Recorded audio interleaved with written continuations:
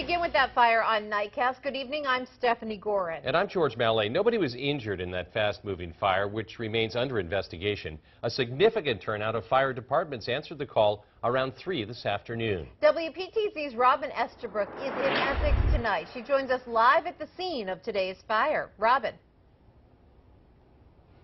Well, Stephanie, the fire happened right at this house, and the first two 911 calls were actually from students. They saw the fire when they were riding the bus home from school.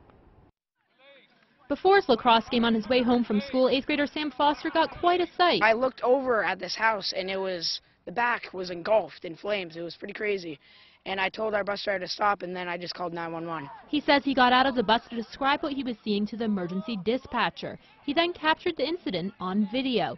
He can't believe the damage done to his neighbor's home. I always look at the back when we're going by because the house is really pretty. And then the one time I look back, it's just burning, and I'm I was pretty shocked. Essex Fire Chief Charles Cole says it looks like the flame started underneath the porch in the back of the house. We have investigators on their way from the state to help us determine what may have happened. Uh, the fire spread into the house and up into the roof rafters for both the uh, lower part and the upper part above the garage. But firefighters don't know how the fire started. We're looking at all options. There's nothing that looks like suspicion or criminal intent, uh, but we are looking to see what may have been underneath the deck, and we're talking to the homeowners of what they recall there, and then we're going to look around at the evidence that may be there.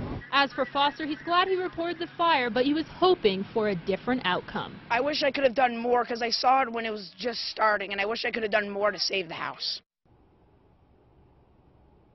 Now, firefighters say they had to be careful when going inside because they were afraid the roof might collapse on them. Live in Essex, Robin Estabrook, WPTZ News Channel 5.